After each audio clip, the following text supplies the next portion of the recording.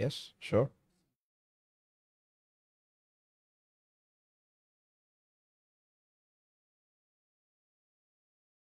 Are you comfortable? All okay? Yeah, I'm all fine. Not scared of the camera. You must be tired. Why? Tour. A tour. All the तुम way. सवाल करो ना इस पे इस पे पूछो ना अस्सलाम वालेकुम वरहमतुल्लाहि वबरकातुहु अल्हम्दुलिल्लाह वस्सलातु वस्सलामु अला रसूलिल्लाह व अला आलिहि व सहबी अजमाइन उम्मीद है आप सब खैरियत से होंगे। This is Adeel Arfeen from मद्रार institute और बहुत ही इंतज़ार के बाद, बहुत सारी गुजारिशों के बाद और बहुत मेहनतों के बाद आज हमारे साथ जो शख्सियत मौजूद है, अल्हम्दुलिल्लाह, किसी तारीफ़ के, किसी मज़ीद मार्फत के किसी इंट्रोडक्शन के मोहताज नहीं। एक अजीम मोटिवेशनल स्पीकर बोलें या कि एक आलम दीन बोलें या एक कौम की खिदमत करने वाला खादिम बोलें। हमारे साथ आज मौजूद हैं फजीलत शेख आतिफ अहमद हमीज़ हफीज़ा शेख कैसे हैं आप? खैरियत से हैं? अल्हम्दुलिल्लाह अस्सलाम वालेकुम व रहमतुल्लाहि व जज़ाकल्लाह खैर। वैसे इतने हैवी इंट्रोडक्शन की कोई ज़रूरत नहीं। थी। इसमें अभी भी जो है वो नहीं नहीं ऐसी कोई बात नहीं I am just a public servant how are you मैं अल्हम्दुलिल्लाह। बिल्कुल अ, थोड़ा सा एक्साइटेड भी हूँ हाँ, क्योंकि आपको होस्ट कर रहा हूँ कोई आम शख्सियत को नहीं कर रहा तो थोड़ा I- मुश्किल होता है। We have I think spent uh, around uh, eight nine years you can break the ice very well. Still जितना वक्त गुजर रहा है आप माशाल्लाह से इरतका तरक्की के साथ साथ जो है ऐसी कोई बात उतना जो है वो बहरहाल। और आप माशाल्लाह से वैसे बड़ी मुश्किल से सब कह रहे थे कि भाई शेख आतिफ का वेबिनार कब है शेख आतिफ से कब जो है वो सवालों के जवाब मिलेंगे या उनको जो है वो हम कैमरे में जो है तकरीरों के अलावा लाइव हम देख सकेंगे। तो बड़ी कोशिशें थी कभी कोई जो है वो सिंध वाले जो है, शेख साहब को मधु कर लेते हैं। तो शेख साहब उनको भी ना नहीं करते कभी पंजाब वाले शेख साहब को अक्सर ही मधु कर लेते हैं। तो शेख साहब उनको भी ना नहीं कर सकते तो ये शेख साहब का प्यार है अपनी कौम के लिए। तो आज आज की जो है, उन्होंने ये वक्त जो है, उन्होंने कौम के नाम किया है। और, आप लोगों के तमाम सवालात जो कि असफ़ा के हवाले से हैं। So this webinar is again मैं बताते चलूँ कि हमारी एक वेबिनार सीरीज़ चल रही है, जिसपे हमारा दो साल जो कोर्स है, जिसमें एक आलम दीन किस उलूम से, किन उलूम से गुजरता है, उसके हवाले से पढ़ाया जाता है मदरार के अंदर। और वो शेख साहब ने खुद ही डिवाइस किया, उसके हवाले से ये वेबिनार मुनद किया है। तो इनशाला आप लोगों के सवाल जो बीच बीच में आते रहें, उनके भी जवाब इनशाला मैं दूँगा। दूसरा ये कि शेख आतिफ की ज़िंदगी के वो अहवाल जो उनके इल्म से ताल्लुक़ रखते हैं, जो उन्होंने इल्मी सफ़र तय किया, और आज अल्लाह ताला ने उनको इस मकाम पे जो है पहुँचाया है, उसके हवाले से भी कौम की रहनुमाई होगी। तो आप सब मेरे साथ रहिए। और अगर आप लोग कोई भी सवालात हैं तो इनशाला आप जो है वो कमेंट्स के अंदर जो है सवाल भेज सकते हैं। इन मैं ज़रूर शेख से गुजारिश करके उन सवाल के जवाब ज़रूर आप तक जो है वो इनशाला पहुँचाने की कोशिश करूँगा। लेकिन सबसे पहले शेख ये बताएँ कि बहुत बहुत शुक्रिया पहले तो आपका कि आपने टाइम दिया। दूसरा ये कि एक मुश्किल आपका सफ़र रहा है। कल ही आप जो है माशाल्लाह से वापस आए हैं अपने जो है वो सफ़र से। तो मुझे ये बताएँ कि असफ़ा के हवाले से लोग जो है वो जानना चाहते हैं। तो लेकिन उससे पहले जब आपका इंट्रोडक्शन में यहाँ पे करा रहा था तो अक्सर लोगों को ये होता है कि भाई इज़ ये मोटिवेशनल स्पीकर और इज़ ये आलिम दीन और इज़ ये राइटर इज़ ये ideologist is educationist what is he actually लोग बड़े कन्फ्यूज़ हैं इस हवाले से, लेकिन अवामुन्नास के अंदर जो ज़्यादा पाया जाता है वो मोटिवेशनल स्पीकर का है। तो मैं चाह रहा हूँ आप खुद तबसरा करते हैं कुछ इसके ऊपर कि what do you want what do you, what do I want myself to be be called? Called yes Well, first of all, uh, देखें एक चीज़ है वो मारूफ एक चीज़ हो गई मतलब एक चीज़ वायरल हो गई एक चीज़ चलती गई उस हवाले से। वो तो जीत का सफ़र थी मेरे ख्याल से that's the first the NED club the NED university का लेक्चर था that was the first video that got viral इतना सबर इतना सबर। लेकिन उससे पहले भी एक बड़ी जिद्दोजहद है मेरी दस, बारह, पंद्रह सालों की, और आज भी मेरी वो है। लेकिन मैं हमेशा से इंटेलेक्चुअल डोमेन के साथ ही मेरा वक्त गुजरा ज़्यादा, और एकेडमिक डिस्कोर्स के साथ ही मैंने अपनी ज़्यादा वक्त गुजारा, और आज भी मैं इल्म को जो वेटेज देता हूँ जज्बातियात को और शायद लफाजियों को और कलाम को उस तरह से शायद ना देता हूँ। वो और बात है कि जो काम हम करना चाहते थे उसके लिए एक वो ज़रिया बन गया ज़्यादा। ठीक। मेहनत और भी बहुत जगहों पे की है तो बहरहाल आई डो नॉट मैं ना कहूँगा अपने आप को आलिम दीन ना मैं अपने आप को कहूँगा ये मोटिवेशनल स्पीकर कहें। हम सिर्फ़ जो है वो काम कर रहे हैं बस। उसके लिए मीडियम चाहे जो भी हो तो अभी भी मुझे वैद ने भी पूछा था लाहौर के अंदर जी कि आप अपने आप को क्या कहलवाना पसंद करेंगे? दिल की एक बात बताएँ अच्छा दूसरी बात, ये बहुत सी आरा होती हैं आदमी के बारे में। जैसे जैसे वो ग्रो करता है I am people might be having different opinions about me तो एक तो वो जब मिलेंगे, बातचीत होगी, ज़िंदगी गुजरती है किसी के साथ तो पता चलता है। But seriously speaking I am very uncomfortable with these titles it was never about titles it was always about work हाँ ये मीन्स हैं, ज़रिए हैं, कहीं तक बात पहुँचाने की या कहीं पर काम करने की। तो मेरे ख्याल से सिस्टम को हर दौर के अंदर ना रिफॉर्म्स की ज़रूरत होती है। तो मेरे ख्याल से I would consider my self as humble servant of the nation and reformist किस्म का जो है ना एक एटीट्यूड है कि मतलब हम तो uh, जो बनी हुई चीज़ें हैं उसकी तजदीद करने के अंदर उसके हया पे काम करना चाहते हैं। उसके लिए कोई इल्म का टाइटल लगाए ना लगाए मदरसे की छाप लगाए ना लगाए मोटिवेशनल स्पीकिंग की छाप लगाने लगाए। बट आई माई सेल्फ मेरा पर्सनल डोमेन इंटेलेक्चुअल इल्म और इसी डोमेन से ही रहा है और मैं इसी में ही रहना पसंद करूँगा। तो यानी असफ़ा जो है वो आपके उन डोमेन्स के अंदर है जो कि आपकी असल है। मतलब जो मेरी जो जो मेरी मदरसे की ज़िंदगी है जो मेरा मदरसे का डिस्कोर्स है और जो मेरा असल मेरी जो बुनियाद है वो मदरसा ही है और it will always be the religious मदरसा जहाँ से मैंने अपनी ज़िंदगी को कनेक्टेड रखा है। तो सफ़ा उसका एक पहलू है जो मेरी लाइफ से कनेक्टेड है। But I always consider my self as a humble part of the system of education in the मदरसास वो मैं इसको ज़्यादा पसंद करता हूँ। माशाल्लाह Sheikh this is so you know बहुत आजी है ये इस इसके अंदर। नहीं बहुत से लोग। लेकिन बहरहाल अलकाब जो है वो खुद ना लगाए जाए तो आवाम तो दे ही देती है। क्योंकि हर किसी का जो है देखने का नुकता नज़र अलग होता है देखें एक देखें जब आप स्ट्रेटजी पर आते हैं ना किसी चीज़ की हाँ। तो स्ट्रेटेजिकली बहुत से काम करने पड़ते हैं।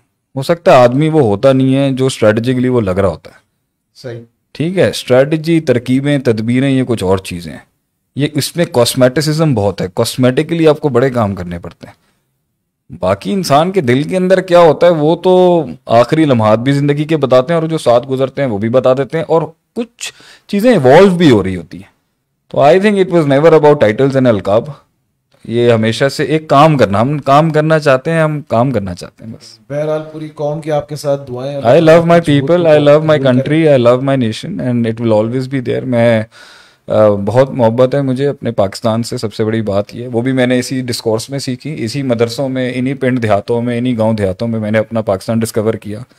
अपनी रूट डिस्कवर की मैंने मैंने अल्लाह को डिस्कवर किया यहाँ पर। तो this will always be top of the priority मदरसा जो है। इनशाला अच्छा अच्छा मैं बताते चलूँ, सबको अपनी ऑडियंस को असफ़ा कोर्स के हवाले से, क्योंकि बहुत सारे लोग हैं जिनको इस कोर्स के हवाले से नहीं पता। It's basically a two years course जिसके अंदर जो है उलूम शरिया पढ़ाए जाते हैं, कुरान, हदीस, तफसीर, उसूल वगैरह, जिससे आप कुरान और सुन्नत के फ़हम को समझ कर जो है उसको अपनी ज़िंदगी में अप्लाई कर सकते हैं। तो बेसिकली दो साल का कोर्स है। वही जो मदारस के अंदर पढ़ाया जाता है, उसी का आप कंसाइज वर्जन कह लें, जिससे इनशाला इसके बाकी और भी लेवल्स हैं जो जाते जाते हैं इनशाला एग्जीक्यूटिव आर्ट्स के अंदर एक आपको इल्म के अच्छे रुतबे के अंदर फाइज कर सकता है, अल्लाह की तोफीक से। तो इस कोर्स के हवाले से हम ये वेबिनार कर रहे हैं। शेख साहब, इसके बारे में मुझे आप ये बताएँ कि ये कोर्स की नीड क्यों आई? पाकिस्तान के अंदर इल्म की कमी कहें, दीनी इल्म तो पाको यानी इंडिया पाकिस्तान के सब कॉन्टिनेंट के अंदर तो एक बड़ा आ, पुराना इल्म है। हम्म। और काफ़ी जो है वो वाफिर मकदार के अंदर इल्म जो है पाया जाता है उलमा भी पाए जाते हैं। तो क्या ऐसी नीड जो है पैदा हुई? वैसे आप अपनी स्टोरी किसी को सुनाते नहीं है लेकिन मैं चाह रहा हूँ उसमें से आप वो इल्म वाला हिस्सा जो है कि इल्म की ज़रूरत जो आपको पेश आई है आपने कहा कि ये माशरे के अंदर आना चाहिए। तो उसके हवाले से आप, मैं समझता हूँ कि आप जो है वहाँ देखिए, पहली बात तो ये है कि जब अल्लाह ताला ने मुझे रास्ता दिखाया, अल्लाह ताला ने मुझे तौफीक दी इस चीज़ को समझने की and when I started understanding that मुझे ज़िंदगी में मतलब मैं अमेरिका जाके खुश नहीं था। मैं यहाँ से अगर शुरू लूँ, लोग यहाँ से पागल हो रहे होते हैं वहाँ जाने के लिए, बेताब होते हैं people are so determine and excited to go in to the west मेरे अंदर भी बहरहाल हमें तो घर वालों ने भेजा था कि शायद वहाँ जाके ठीक हो जाएँगे ये। लेकिन मेरा वहाँ पर भी मामला इसलिए ठीक नहीं हुआ बिकॉज़ मिसफिट्स जो होते हैं वो हमेशा रेवोल्यूशनरी काम उनके अंदर होते हैं। मैंने अपने उस इनकलाब को और उस रेवोल्यूशन को आई थिंक डिस्कवर नहीं किया था उस टाइम तक बहरहाल मैं छः सात महीने वहाँ रहने के बावजूद भी मेरा दिल वहाँ उदास हो गया। चाहे सड़कें बड़ी थी माशरा आज़ाद था मेरे पास कॉलेज लेवल की बहुत अच्छी दोस्तें थे मेरे। I had a very good social circle over there लेकिन मेरे लिए वो कभी भी एक लेवल पर, और मुझे आज भी याद है डेलिस में मैं गैस स्टेशन के बाहर बैठा था and I was looking at the sky और मुझे कोई सेंस समझ नहीं आ रही थी अपनी ज़िंदगी की। और उनके मुझे चीज़ें बॉदर करती थी। बहरहाल जब अल्लाह ताला मुझे रास्ता दिखा रहा था और वो पूरा रूम क्रिएट हो रहा था तो एक छोटी सी तमीज़ जो थी ना वो मैं बाहर से लेके आया। वो तमीज़ ये थी कि जब हमने दुनिया का इल्म वहाँ के सबसे टॉप नॉच लोगों से पढ़ा है। तो मैं दीन का इल्म जो है ना किसी हल्के आदमी से नहीं पढ़ना चाहता। सही मतलब मतलब मैं चाहूँगा कि वो जो एक्सपर्ट्स हैं फ़ील्ड के जो कदावर जो है वो जो जाइंट्स जिन्हें हम कहते हैं इस फ़ील्ड के मैं उन रसूख रासखून फिल इल्म जिसे आप कहते हैं। ये मुझे पता फिर भी नहीं था लेकिन ये तमीज़ थी मुझे कि भाई मैं मतलब यहाँ एरे गेरे मतलब मैं एक जवान से मैं पढ़ने के खिलाफ नहीं हूँ, लेकिन जब तक कि वो गुजरा नहीं होगा चीज़ों से, वो मेच्योरिटी नहीं होगी तो पता उससे कैसे पढ़ ले आदमी? इसलिए मैं इसलिए मैं जवानी के इल्म के ऊपर कलाम भी बहुत करता हूँ कि ये बड़ा बेवकूफ़ाना इल्म होता है, जो जवानों का इल्म होता है। अगरचे इल्म होता है, ताबीर होती है उसमें, लेकिन इबारत बगैर तस्किए और बगैर इमारत के, वो इबारत क्या होती है, वो वक्त बता देता है, वो तो बहुत ज़्यादा उसमें अफराद तफरीद होती। तो उस वक़्त हमारे एक बड़े अच्छे थे हज़रत जो माशाल्लाह से फिर मेरे ब्रदर इन लॉ बन गए बाद में। अल्हम्दुलिल्लाह, मेरी शादी हो गई उस ख़ानदान में। तो उस टाइम पर उन्होंने मुझसे, जब मेरा दीन की तरफ़ भी रुझान आया, जब दाढ़ी आई थोड़ी सी और उस वक़्त when I was going through the phase तो उस वक़्त इनकलाब बहुत गर्म था 2000 के अंदर। जमात इस्लामी बहुत एक्टिवेटेड थी उस टाइम पे। डॉक्टर इसरार जो थे वो एजुकेटेड तबके के बहुत बड़े उस टाइम पर आ, आ, उनका काम था। और चैम्पियन भी बड़े थे वो। और वो बहुत ही एक उस उस वक़्त की बड़ी लोगों के लिहाज से एक इंस्पायरिंग पर्सनैलिटी थी। तो कुरान अकेडमी का भी बड़ा काम सामने था। तबलीगी जमात वाले भी बहुत ज़्यादा मेहनती लोग हैं बहुत ज़्यादा वो जवानों के ऊपर काम करते हैं। And they wanted to also के मैं जाऊँ और उनके साथ भी वक्त लगाऊँ। तो उन उन दिनों के अंदर उन्होंने मुझसे एक सवाल किया कि आप ये बताएँ इनकलाब कैसे आएगा? सही। तो मैंने कहा जिस तरह का माशरे के अंदर बातें चल रही है ना ये तो लड़ मड़ के कह रहे हैं सारे ये लड़ मर के ही आएगा। और फिर ये अफ़गानिस्तान के भी हालात कैसे थे आपको पता? बिल्कुल ऐसे। तो उन्होंने मुझे कहा पढ़ के आएगा। मैंने कहा पढ़ के कैसे आएगा इनकलाब? मतलब पढ़ाई तो देख ली अब हमने। तो अब और क्या मजीद पढ़ना होता है? तो उन्होंने फिर मुझे कहा कि अगर आप ये मदरसे के अंदर जाके और इस तरह के अगर माहौल में आप हमारे बताए हुए माहौल में जाएँगे। दालों के साथ। वो मदरसे की दाल कह लें मदरसे का खाना कह लें आप। और आपने उस इन्वायरमेंट के अंदर सरवाइव करके अगर ये ये चीज़ें पढ़ पढ़ ली तो फिर आपसे बात होगी। तो this became a source of me going to the madrasa from my halqa जो बड़ा मतलब इंग्लिश किस्म का या बर्गर किस्म का जो माहौल था। तो वहाँ से ये मेरी ट्रांजिशन थी। तो दैट्स हाउ इट स्टार्टेड लेकिन फिर क्या हुआ? वो आपका कोई बात है तो आप करें वरना मैं आगे चलाऊं फिर उसको। मेरे ख्याल से इतनी स्टोरी काफ़ी है। हाँ लेकिन ये इसके ऊपर तो ये ज़रूर बात रहेगी कि ये बन, सफ़ा बनाने की ज़रूरत क्यों है ये इसके बाद मुझे बताऊँगा। लेकिन यहाँ तक ये था कि इंस्पिरेशन ये थी कि मुझे किसी ने कहा था कि अगर आप अपनी ज़िंदगी में रेवोल्यूशनाइज करना चाहते हैं चीज़ें बदलना चाहते हैं आपको पढ़ना पड़ेगा लड़ना नहीं पड़ेगा आपको। लोग पहले लड़ते हैं फिर पढ़ते हैं। ठीक है। पहले पढ़ा जाता है फिर लड़ा जाता है। शेख आतिफ क्या कह रहे हैं सबको? मैं इसकी समरी यहाँ पे दे रहा हूँ जो पॉइंट शायद आपको ज़िंदगी में समझ आए या बाद में कभी समझ आए तो पॉइंट लिख लें अपने पास कि इनकलाब का आगाज़ या तब्दीली का आगाज़ या अपने आप को बदलने का आगाज़ लड़ कर झगड़ कर नहीं है बल्कि इल्म के साथ हाँ, पढ़ के इल्म के साथ। पढ़ के इल्म के साथ है। शेख साहब का जो सफ़र है इल्मी सफ़र उसकी बुनियाद ही यही थी जब शेख साहब के दिल के अंदर ये तशनगी पैदा हुई कि तब्दीली किस तरह आएगी और चीज़ें बदलेंगी किस तरह रिफॉर्म किस तरह होंगी तो शेख साहब ने अपने इल्मी सफ़र का जो है वो आगाज़ किया था। और ये हर उस शख्स के लिए जो अपनी तालब इल्मी की एज के अंदर है स्टूडेंट लाइफ के अंदर है ये उसके लिए एक मैसेज है कि if he want to if he wants to change something वो नॉलेज इल्म के साथ ही होगा। वही का आगाज़ भी इल्म के साथ हुआ पहली वही भी इल्म के ऊपर है। हाँ। नबी अकरम वसल्लम ने किसी और चीज़ के हवाले से दो चीज़ों के हवाले से दुनिया के अंदर बोला था अल्लाह मुझे इसमें ज्यादती अता कर। वैसे रब्बी जितनी मालन नहीं बोला रब्बी जितनी दौलतन नहीं बोला शोहरतन नहीं बोला बल्कि अल्लाह के नबी ने रब्बी रब्बी जितनी जितनी इल्मा और आप सबने दूध के हवाले से जो आप बहुत पसंद था उसके हवाले से कहा। तो इल्म से जो है वो इंसान का स्टार्ट है। आदम की स्टार्ट है इल्म से। अल्लाम अल आदम अल अस्मा नबी वसल्लम का इनकलाब शुरू होता है अल्लाम इंसान अलम तो मतलब इल्म हमेशा मिजदाक रहेगा हर चीज़ का आप इसको माइनस करके किसी जुज की पर बात नहीं कर सकते बुनियाद कह सकते हैं किसी चीज़ की मतलब आर्टिकल ही इल्म है फसाद भी इसी में ही होगा ठीक बिगाड़ भी इसी में होगा उरूज भी कौमों का और फर्द का इसी में से होगा रूहानियत भी इसी में से है और जो है जिहाद भी इसी में से है दुनिया की हर चीज़ का ताल्लुक इल्म माइनस करके होगा तो वो फसादी होगा ये देख रहे हैं आप शेख साहब जब गहराई में लेके जाते हैं बातों की तो क्लास के अंदर बंदा जो है गुम हो जाता है। तो अगर आप चाहते हैं कि शेख साहब से जो है वो असफ़ा के अंदर बिलखसूस आप शेख आतफ से पूरा एक कोर्स पढ़ना चाहें तो आप जो है इस बार सफ़ा के अंदर ज़रूर इनरोल कर सकते हैं। सफ़ा की हिस्ट्री के हवाले उससे पहले भी हम ये कहें कि अभी हमने ये कहा ना कि इनकलाब भी इल्म से आता है दूसरा क्लैरिटी भी इल्म से आएगी। ठीक है। ज़िंदगी का सबसे बड़ा मसला आपके अगले वाले सवाल पे जाने से पहले मैं एड ऑन कर दूँ। ज़िंदगी का सबसे बड़ा मसला जो है ना जो 40 साल के आदमी को आज जो हमारी एज है जो हमसे सीनियर है जो हमसे पहले वो है कि वॉट वाई क्या क्यों कैसे कब ये जो क्लैरिटी ये पजल सॉल्विंग जो है ना कि हम क्यों हैं और क्या कर रहे हैं और क्यों कर रहे हैं और किस लिए कर रहे हैं। इल्म इस क्लैरिटी को, उस यकीन को, यकीन स्टैब्लिश ही नहीं हो सकता इल्म के बगैर। ये बहुत ही बड़ी गुमराही होगी अगर कोई कहे कि वो इल्म की गहराइयों में जाके बगैर यकीन तक पहुँच जाए। यकीन मुशाहिदे से होता है, मुशाहिदा भी इल्म है एक। मुशाहिदे से क्या चीज़ एक्सट्रैक्ट करनी है, ये भी इल्म है। इल्म को पढ़ने के लिए भी एक इल्म है। हाँ इल्म पढ़ने के लिए भी एक इल्म चाहिए आपको। आप कर ही नहीं सकते जिसको फिर आप प्री रिक्विजिट्स कहते हैं या कुछ भी कहते हैं तो बुनियाद इंसान की जो क्लैरिटी की अपने हवाले से है ज़िंदगी के हवाले से है अपनी फ़ील्ड के हवाले से वो बगैर इल्म के नहीं आएगी। और दूसरी बात है एक लेवल पर जो सैचुरेट हुए भी कौम बैठी हुई है ना हमारे सही। जो पहुँच गए हैं मगर आगे नहीं जाना चाहते। या यूटिलिटी किसी भी लिहाज से उनकी सैचुरेट होगी यूटिल, यूटिलिटी जो law of diminishing marginal utility भी यूटिलिटी बढ़ाने के लिए भी इल्म बढ़ाना पड़ेगा। सही। सेटिस्फेक्शन बढ़ानी है इल्म बढ़ाना पड़ेगा।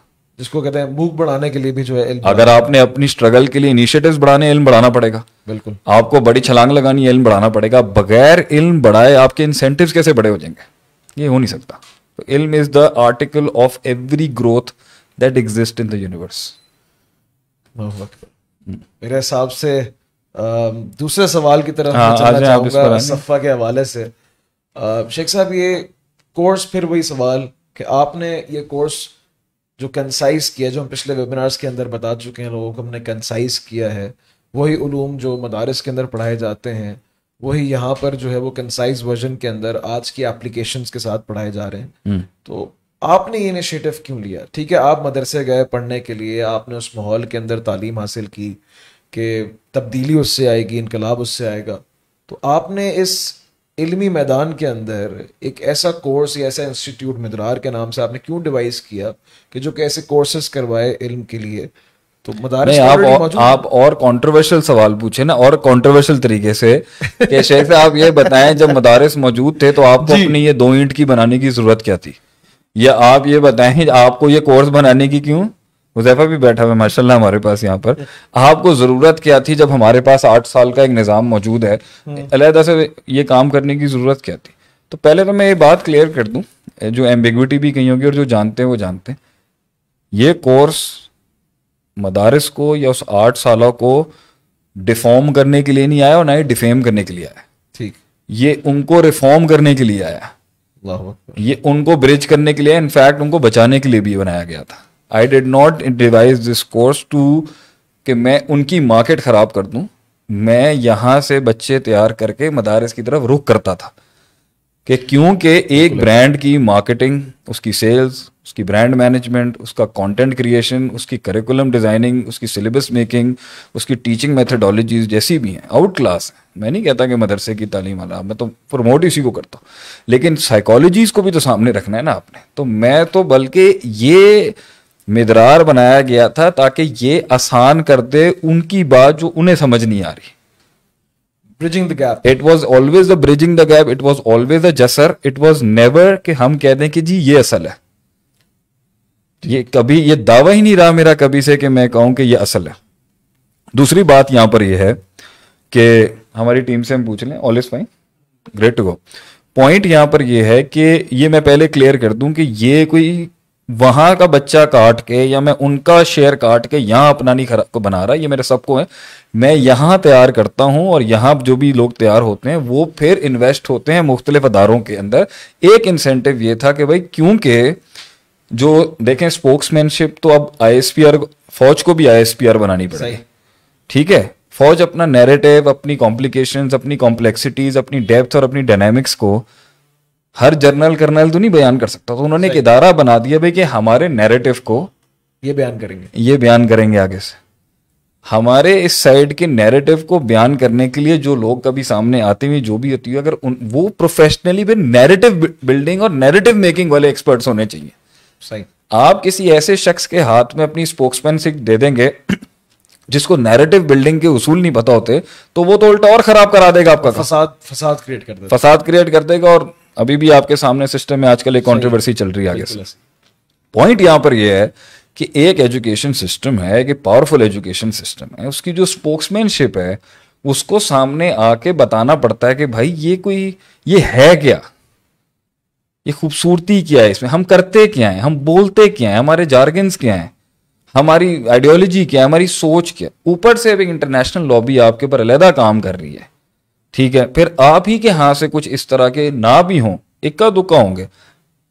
कुछ हर सिस्टम के अंदर रोग्स होते हैं। R O G U E S वाले उसमें। ठीक। एक दूसरा रोग होता है वैफा और एक रोग रोग हर सिस्टम में रोग होते हैं रोग नेशंस जिसे हम कहते हैं। तो वो रोग हर जगह के होते हैं लेकिन आपके रोग हाईलाइट हो गए दुनिया में।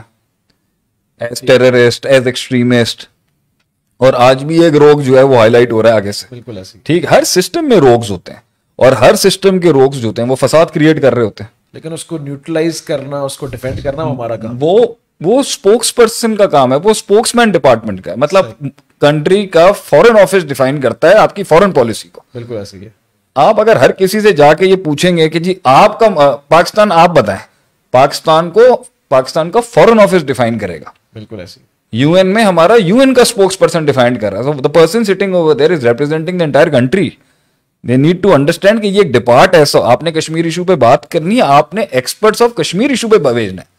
आप आ- आप बशीर बशीर वाले बशीर को नहीं भेज सकते आप आगे से। I remember that Bashir puncture वाला। अब 15 years मैंने अभी पूरा लफ्ज बोला बशीर पंक्चर वाले को नहीं आप बोल सकते कि वो नेशनल है। हाँ जहाँ पर आपने बताना है कि भाई जी इश्यूज़ तो आप इश्यूज़ फिर किसी बड़े बड़े से नहीं पूछते आप फिर ग्राउंड लेवल के आदमी से पूछते हैं इश्यूज़ क्या है। हमारा उल्टा सी जब हम इश्यूज़ पे बात करने पे आते हैं तो सबसे बड़ा जो होता है जो सबसे प्रिविलेज्ड होता है वो अंडर प्रिविलेज्ड के इश्यूज़ कैसे बताएगा? बिल्कुल ऐसी ही। जब आपने आइडियोलॉजीज बयान करनी है तो आप आइडियोलॉग्स लेके आएँगे। जब आपने स्पोक्स पर्सनशिप रखनी है तो आप एक्सपर्ट्स ऑफ़ लिंग्विस्टिक्स लेके आएँगे। लैंग्वेज के एक्सपर्ट्स लाएँगे नैरेटिव बिल्डर्स के एक्सपर्ट्स लेके आएँगे। और जब आपने इकोनॉमिक पॉलिसी बनानी है तो आप उसको लाएँगे जो समझता है। बिल्कुल उस फ़ील्ड का। उस फ़ील्ड का हो ना हो उस फ़ील्ड की प्रैक्टिकलिटी जब आपने मसाइल बताने हैं तो आप गरीब को उठा के लेंगे गरीब गरीब बताएगा ना इस मुल्क के मसाइल क्या होते हैं। आप मसाइल पे जब बात करने के लिए आते हैं तो आप प्रिविलेज आदमी को ले जाते हैं। सिमिलरली वो है मदारिस के करिकुलम और मदारिस की एजुकेशन और मदारिस के स्कोप को अगर आपने बयान करना है तो आप उस उनके अंदर से वो बंदे को लेके आएँगे रजुल मिन कौमी ही रजुल मिन कौम ही मैं बंदा हूँ आपकी कौम में से।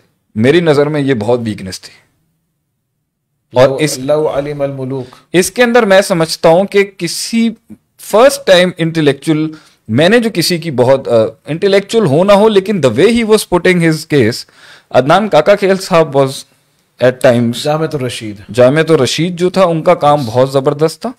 He was trying to blend in something he was trying to get the crop from the system जो एजुकेशनलिस्ट हों जो आपके डॉक्टर्स हों इंजीनियर्स हों I think he was doing a wonderful job and I was very inspiring अगरचे मैं उनसे आज तक नहीं मिला लेकिन if my word is going to him I really appreciate his work दूसरी बात यहाँ पर यह है कि वो ट्रांसलेट कर रहे थे।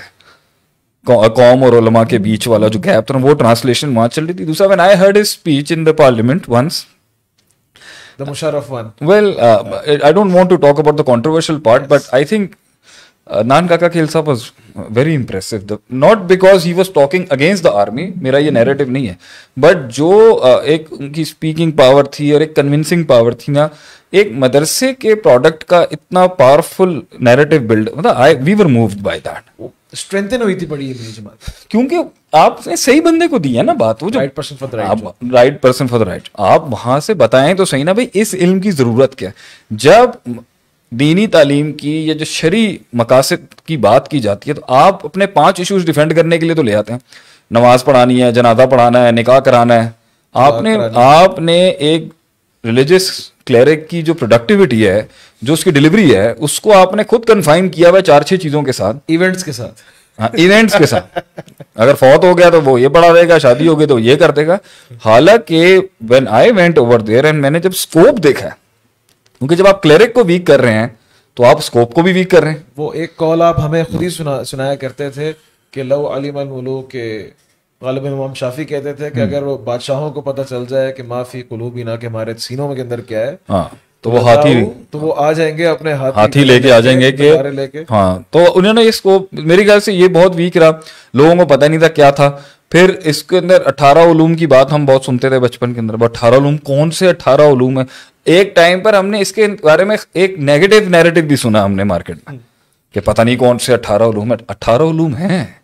सोलह उलूम हैं। बिल्कुल ऐसी और अगर कोई आलिम दीन ये कहता है भैया ये पढ़े बगैर तुम कुरान हदीस में हाथ नहीं डाल सकते तो वो गलत बात नहीं कर रहा। ठीक है। लेकिन उसके बारे में भी एक नेगेटिव कॉनोटेशन आ गई कि यार ये ये ये तहकीक का दुश्मन है। ठीक है।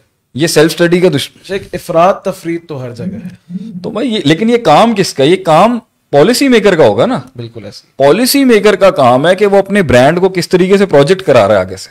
तो ये चीज़ मैंने बहुत कम देखी कि जब हम गए हमने भी देखा और हमने जब उसका स्कोप देखा और उसकी डायनामिक्स देखी ना मेरे पहला एहसास ये हुआ the world needs to know what is uloom sharia ये मेरा बहुत पहला और बहुत बड़ा माइलस्टोन था जानने के लिए जिसने मेरी ज़िंदगी की आगे की पूरी तहरीक बदली जिसके अंदर शायद एक मोटिवेशन भी आया कि भाई the world needs to know कि एक इस्लामिक जूरिस्प्रूडेंस इसका फिक इसका अकीदा लगत grammar and depth and the way they open staff उलमा का जो काम this needs to come out और ये मैं उस टाइम पर इंग्लिश में तो क्या उर्दू में भी नहीं मांगा और वो उर्दू भी ऐसी पुरानी जमाने के लिए आप हुज्जतुल्लाह बालगा की उर्दू ये बच्चे भी नहीं पढ़ सकते।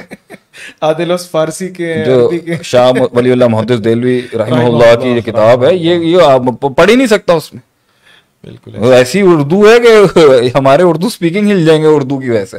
तो आपका जो काम मौजूद है वो बिल्कुल भी उस नहीं था आसान आसान। जिसकी वजह से क्या हुआ जिसकी वजह से एक नुकसान हुआ कि एक नैरेटिव यह है लोगों ने छोड़ ही दिया। ठीक है।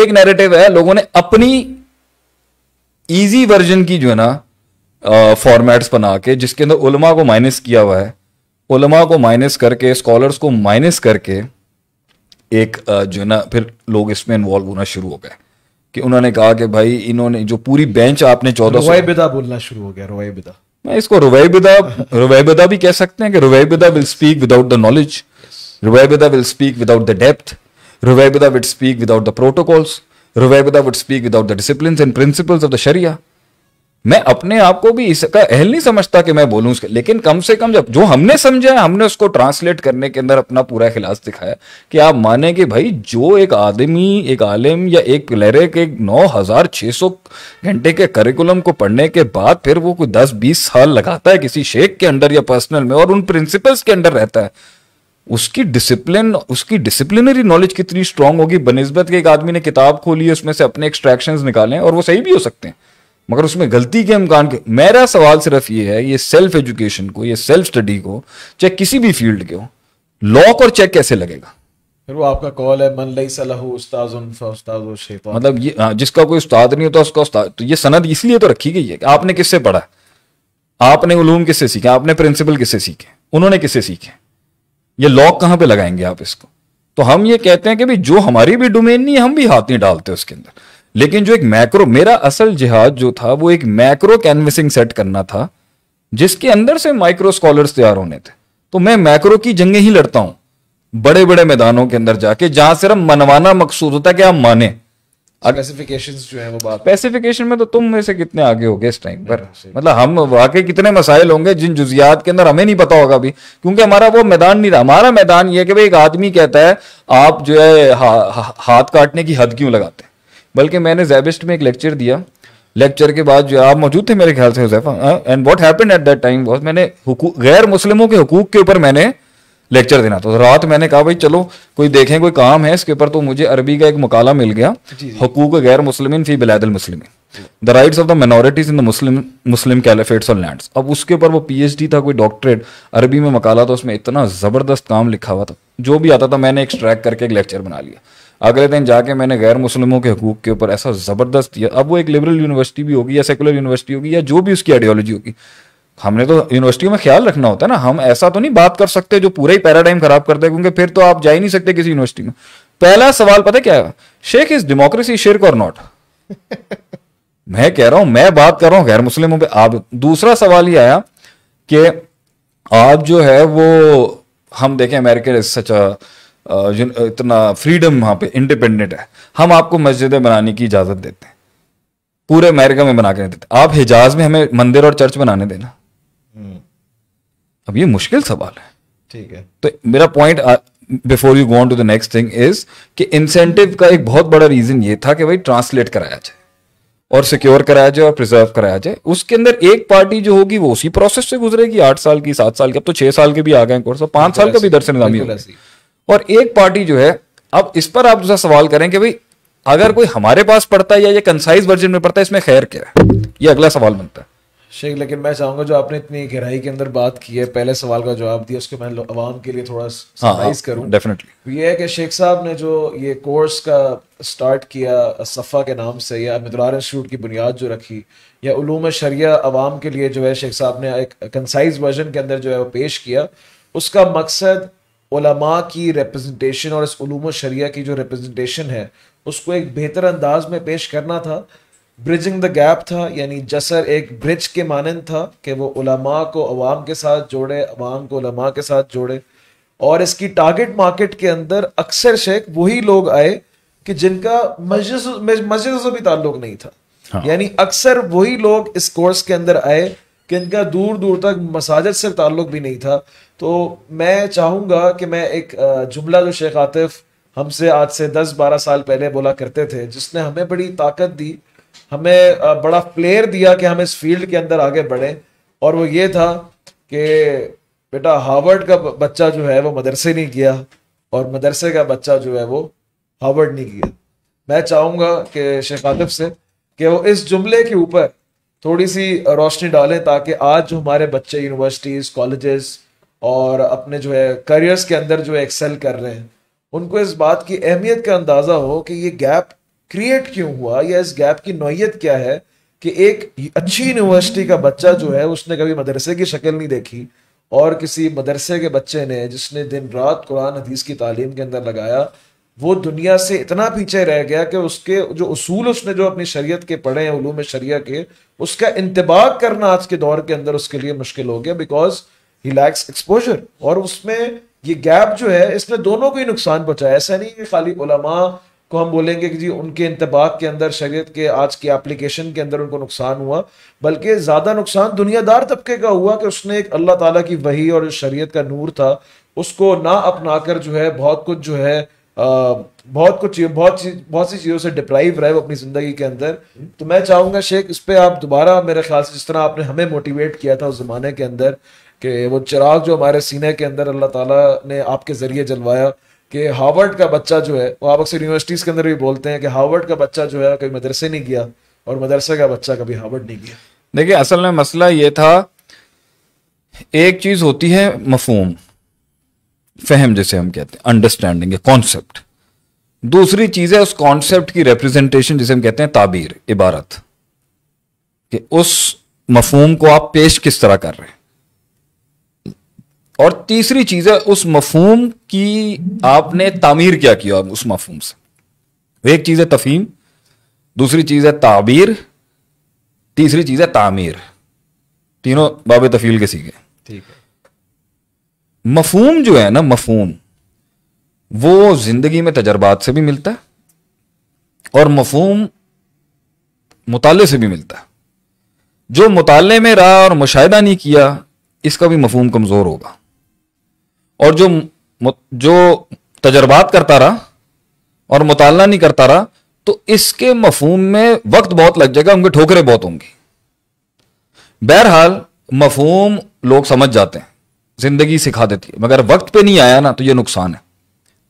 वक्त पे अगर फहम और इल्म नहीं आया ना, और बाद में जाके ठोकरे खा के वक्त जाया करके आना है तो सिविलाइजेशनल वॉर्स के अंदर जो है, आप फिर पीछे रह जाएँगे। अगर आपने भी मेरी उम्र पे आके वो सीखना है जो मैंने अब सीखा है तो फिर मेरे तजर्बात का क्या फ़ायदा हुआ आपके लिए? बिल्कुल। तो आपके दो टारगेट्स होंगे। एक आपका टारगेट होगा मुझसे सीखना और एक आपका टारगेट होगा जो फ़ील्ड में और बड़े बैठे हैं उनसे सीखना और एक आपका टारगेट होगा जिसका आपने खुद एक्सपेरिमेंट करके समझना है कि इनके वक्तों में क्या कहानी थी और हमसे पहलों के वक्तों में क्या कहानी थी। इसके बगैर आप जल्दी मफहूम नहीं समझ सकते ज़िंदगी का अल्लाह का कायनात का डेवलपमेंट्स का स्ट्रक्चरिंग का और जंगों का। तो इसके लिए, ये सारे के लिए आपको पढ़ना है। आपको इल्म हासिल करना है। दूसरा, बहुत से लोगों के पास इल्म होता है, फहम होती है, उन्हें तजर्बा होता है, उन्हें पता है ये इस तरह नहीं करना, ये इस तरह करना मगर उनके पास वो लैंग्वेज वो टूल ही नहीं होता जिससे अपना फहम अगले में उतारा जाता है, उसे इबारत कहते हैं। अल्लाह ने अपना, अपनी अपनी जो, अपना जो इल्म है ना, जो अपना फहम दिया है इंसान को, वो अरबी में दिया है। आप अल्लाह से बगैर अरबी के बात कर सकते हैं। और अल्लाह ताला आपको बगैर अरबी के रिस्पॉन्ड भी कर देता है। ठीक है। और अगर आपकी गलती हो तो उस पर भी ताल्लुक चलता रहता है। अंत अबदी व अना रब्बू की गलती भी अगर हो जाए जो वो ऊंटनी होने के बाद हो गया। पॉइंट ये है कि आप इबारत के थ्रू ज़्यादा पावरफुली समझ सकते हो अल्लाह क्या चाहता है और क्या कह रहा है। तो दूसरे दो बात ये होगी कि ताबीर और इबारत की कमज़ोरी जो है ना आज की दुनिया की जो और अब तीसरी चीज़ आती है इमारत और तामीर। तामीर तो सर आपके पास है ही नहीं। अनफॉर्चुनेटली आप ये मत समझेगा कि मैं कोई कैपिटलिस्टिक ड्रिवन एटीट्यूड रखता हूँ या मैं जो हूँ कोई वेस्टर्न ड्रिवन एटीट्यूड रखता हूँ मैं देसी आदमी हूँ पिंड देहातों का आदमी। पॉइंट ये है आज के दौर में अपने फहम पर जो इमारत खड़ी की है ना वो मगरिब ने की है। सही। और वो इल्म जो उसका फहम है, वो अंग्रेज़ी में है। तो अगर आप अपने माजी से जुड़ना चाहते हैं तो आपको उस इबारत को समझना बहुत ज़रूरी है जो अरबी में एग्जिस्ट करती है 1200 साल से 1300 साल 1400 साल। और अगर आपने जिद्दत को समझना है तो आप जिद्दत को समझ, कैसे अंग्रेज़ी के बगैर खोल लेंगे? और अगर आपने जिद्दत को समझाना है तो आप इबारत के अरबी की इस्तेमाल करेंगे। हो भी सकता है, बीच में ट्रांसलेटर होगा। सही।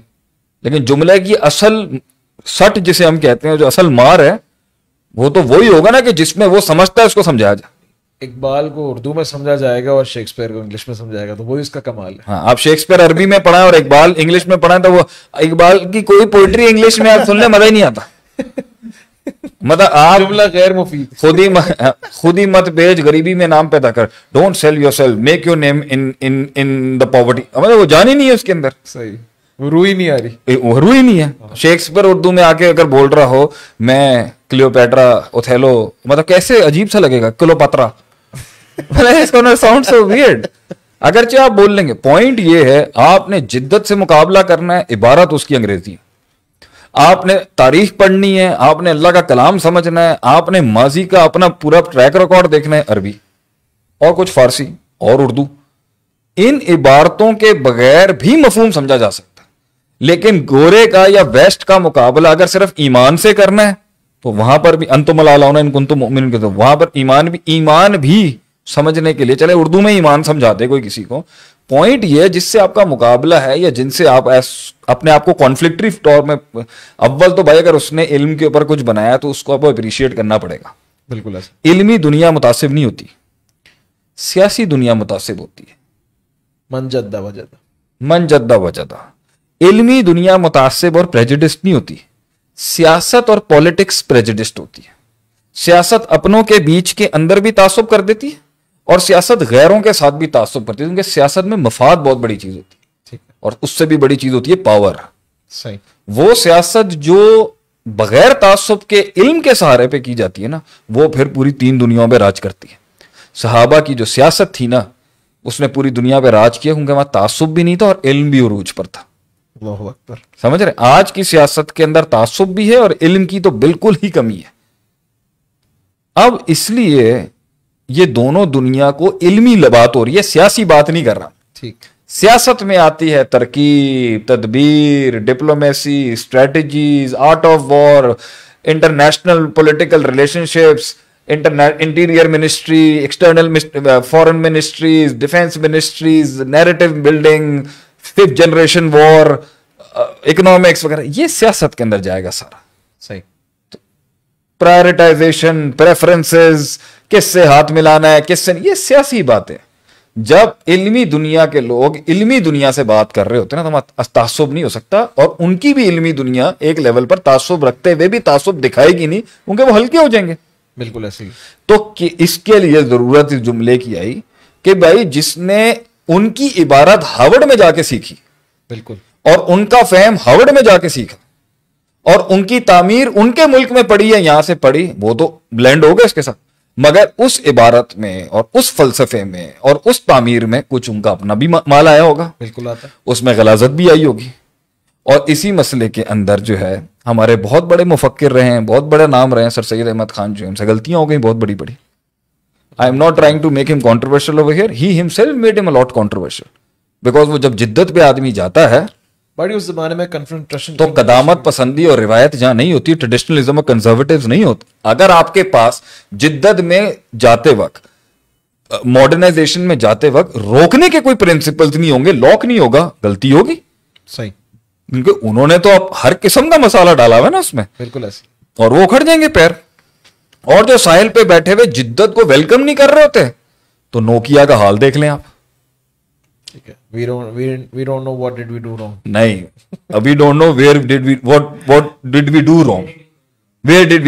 या मतलब आप ये कह सकते हैं। एक फ़ोन अब इस पर कोई कहेगा शेख साहब आपने फ़ोन बनाने वाली आइडियोलॉजी को जो है रिलीजियस आइडियोलॉजी भी कर दी। मैंने कहा भाई आइडियोलॉजी का भी एक सेल्समैन होता है और एक बायर होता है।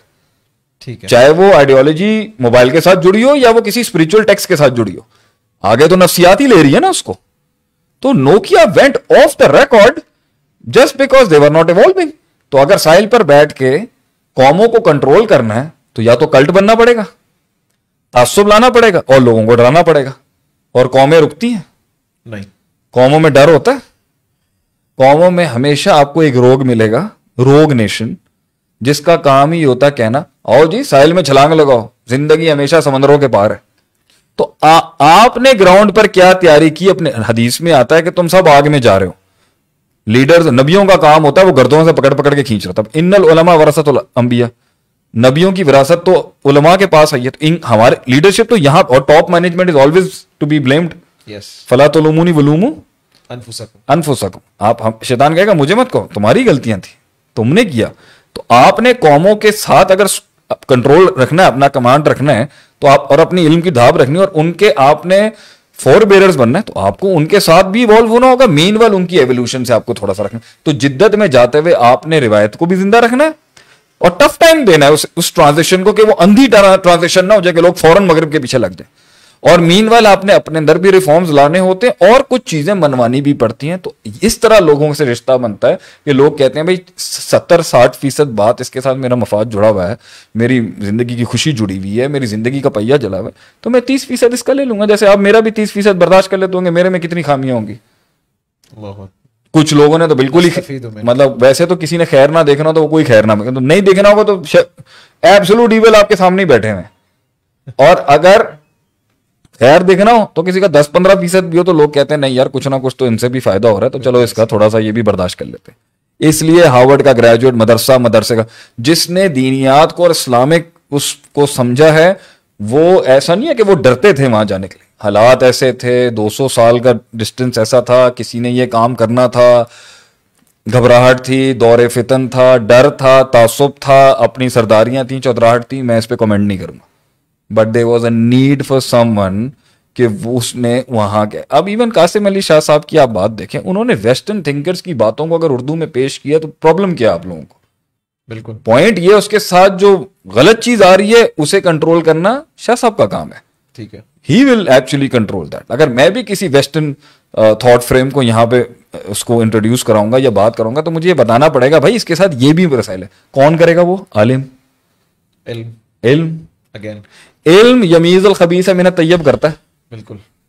तो इसलिए हार्वर्ड के ग्रेजुएट को मदरसे मदरसे ये गैप इसलिए बना क्योंकि लोग रुकते कहें वो वहाँ चला गया एक यहाँ चला गया। जब वो वहाँ गया तो वो इसको नहीं समझ सका और जब ये यहाँ पर है ये उसको नहीं समझ पा रहे या समझना चाहते नहीं है या हो गया।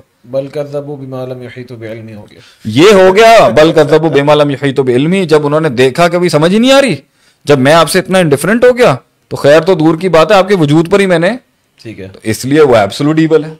West is absolute evil because we don't understand it that is mind plus वो एक जालिम सिविलाइजेशन मगर उन्होंने इंटेलेक्चुअल और एकेडमिक एकेडमिक्स और इंटेलेक्ट तो वहाँ के आपको ये कहेंगे ना सर हमने तो नहीं फौजें भेजी थी ना। हमसे तो आप बातचीत करें ना। तो इंटेलेक्चुअल्स पूरी दुनिया के पॉलिटिकल थोड़ी हो सकते हैं। और अगर वो पॉलिटिकल भी होंगे तो बहरहाल मैं उसके बारे में नहीं बात करूँगा। इंटेलेक्ट ने इल्म को पूरी दुनिया में बगैर तासुब के सर्व करना होता है। इस्लाम एक पॉलिटिकल आइडियोलॉजी भी रही है और है और हमेशा रहेगी। इस्लाम एक इंटेलेक्चुअल आइडियोलॉजी भी है। इस और इस्लाम स्पिरिचुअल आइडियोलॉजी भी है। तो पूरी दुनिया के स्पिरिचुअल फिरके इस्लाम को खाते में रख के चल रहे होंगे। पूरी दुनिया के इंटेलेक्चुअल फिरके इस्लाम को खाते में लेके चल रहे होंगे। और पूरी दुनिया के पॉलिटिकल भी इस्लाम को और बात है कि हम पॉलिटिकल आइडियोलॉजीज की दाढ़ के नीचे हमेशा इसलिए आ गए क्योंकि क्योंकि पावर एक तंग करती है ना लोगों को। इसलिए उसने हमें मुसलमानों के पास रही मुसलमानों का एक नहीं हज़ार साल रही है। बिल्कुल ऐसी। और आपने जब अपना रूल किया तो आपने बहुत कुछ किया। आपकी तारीख इसलिए इस्लाम में जो ग्लोरिफिकेशन भी मिल गई है वो पॉलिटिकल आइडियोलॉजी को मिल गई। सही। तो जो इंटेलेक्चुअल आइडियोलॉजी जो सदियों कल को अगर खिलाफ कल को हमारे पास खिलाफ आज नहीं है। कल को खिलाफत हो ना हो पावर हो ना हो ये मामले हो ना हो तो क्या जो इस्लाम का जो इंटेलेक्चुअल डिस्कोर्स है इतनी सदियों का जो नबियों से चलता आ रहा है जो हमारे और एक एंड के अंदर यही रह जाना है। सही। हुकूमतें तो रहेंगी नहीं।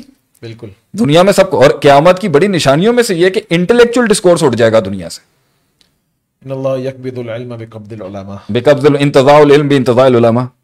सही मुस्लिम की हदीस कि इंटेलेक्चुअल उठ जाएँगे इस्लाम के। तो इस्लाम के पचास फैसेट्स हैं जिसका एक इसलिए हार्वर्ड का ग्रेजुएट अगर मदरसे नहीं किया और मदरसे का ग्रेजुएट हार्वर्ड नहीं किया तो इसके बीच में कल्चरल डेफिसिट या पुरानी गलतियाँ या दौरे फितन ये सारे मामला को रख के आप इंटेलेक्ट को और अकल को और शूर को रोक नहीं सकते मिलने से।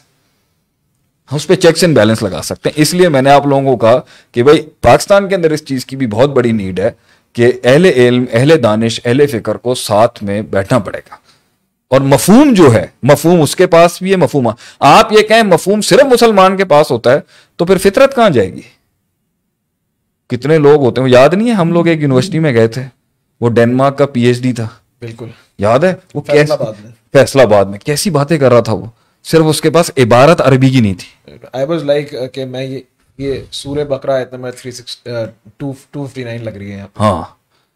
तो कुछ लोग कितने फितरतन पहुँच जाते हैं उसमें मफहूम तो मफहूम है ना? मफहूम ताबीर जो है वो अच्छा क्या हम इस सवाल को उठा सकते हैं कि सिर्फ़ मफहूम का फहम हो तो आलिम कहलाता है कुछ क्लास के लिए भी छोड़ दें। ताबीर अरबी में होना लाजिम है या नहीं? मेरे ख्याल से ताबीर होनी चाहिए। अरबी की ता... ताबीर में है वैसे। हुसन ताबीर में है वसत ताबीर में है बलागत ताबीर में है और माना ताबीर के अंदर है। अरबी की अंदर से जो एक्स, जो उस मफहूम की एक्सट्रैक्शन है वो बगैर अरबी को सीखे बगैर नहीं हो सकती।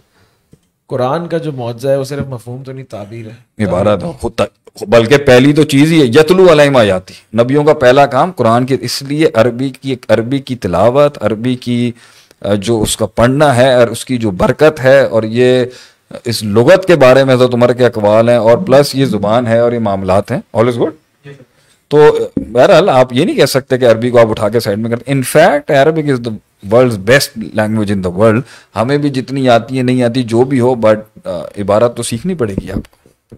ठीक। अच्छा यहाँ पर uh, मैं ऑडियंस से चाहूँगा कि मैं जिनको जिन्होंने अभी ज्वाइन किया मैं इनको फिर से बताते चलूँ। असफा के हवाले से हमारा वेबिनार है how is the response by the way अल्हम्दुलिल्लाह response is good up till now सबको मेरा सलाम प्यार भेज दें आप। Hundreds of questions waiting for you और मुझे नहीं लगता कि मैं इस सेशन में सारे सवालों के जवाब दे, दे सकूँगा लेकिन मैं सबको बताते चलूँ इंशाल्लाह आपके सवाल जो है वो इंशाल्लाह नोट हो रहे हैं। और अभी आपके लिए खुशखबरी और भी है कि शेख आतिफ का ये लास्ट वेबिनार नहीं है इनशाला हमने कुछ और बुकिंग्स भी की हैं शेख साहब के साथ। तो आपके सारे सवालों का इनशाला जवाब मैं दिलवाऊँगा इनशाला शेख मुझे आप यहाँ पे सपोर्ट करते हैं बोले इनशाला हाँ, जान आइए थोड़ी सी। इससे पीछे अगर मैं चलूँ अभी शेख साहब ने जवाब दिया इसका हार्वर्ड का बच्चा मदरसे नहीं किया और मदरसे का बच्चा हार्वर्ड नहीं किया। शेख वल्लाही मुझे क्लासरूम याद आ गया पुराना। दस साल पीछे आप ले गए और मैं समझता हूँ कि मैं दस साल और पीछे चला गया वो किताब और, और, और, और मैं जो है प्लेयर हाँ। के साथ मजीद जो है मैं मैं भी सब I wish you the best of thing I think you are sitting on this bench and you are माशाल्लाह से leading the show because of ilm ilm leadership की बेस है। क्यादत की बेस इल्म है। अच्छा जी यहाँ पर शेख एक बहुत ही प्रैक्टिकल सवाल है एक आलिम ही लीड करेगा मेरी नज़र के अंदर।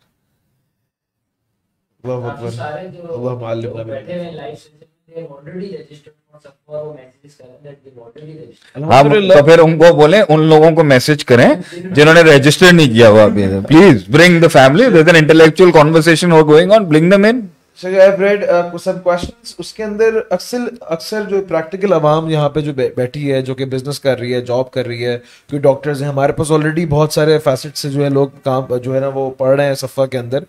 तो उनके सवाल जो है वो ये है कि सही है उलूम शरिया नो डाउट आउट क्लास इल्म है कुरान हदीस आसमान के नीचे ज़मीन के ऊपर इससे अफजल इल्म कोई नहीं है। सही है। मतलब क्वेश्चन इज़ फजीलत है।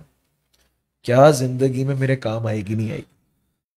यानी मेरे बिज़नेस के आप मुझे चाहते हैं कि मैं पॉलिटिकल जवाब दूँ या मैं इंटेलेक्चुअल जवाब दूँ? शेख वो जवाब दें कि आ जाए आप पहले आवाम से इस बात का पूछें कि आप इल्म हासिल करने का इंसान को क्या फ़ायदा होगा जो मैं इतनी मार खाऊँगा यहाँ पर इतने मुश्किल जारगंज में जाऊँगा इतना हिसाब किताब होगा?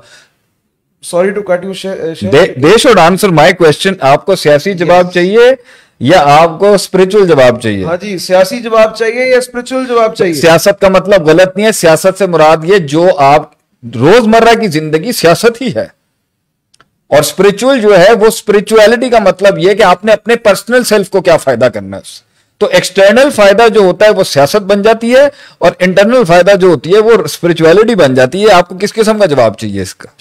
वो तो है लेकिन यहाँ पर जिस पहली की तरफ़ मैं यहाँ पे चाह रहा हूँ कि आप स्पेसिफिकली यहाँ पे अगर लोग लोग जो पूछ रहे हैं वो ये है कि अगर वो इंजीनियरिंग कर रहा है, उसका एक फाइनेंशियल स्कोप सामने है। वो बंदा बिज़नेस कर रहा है चार्टर्ड अकाउंटेंसी कर रहा है, उसको पता है मार्केट के अंदर इतने जो है, इतने फिगर की सैलरी जो है ऑलरेडी मौजूद है।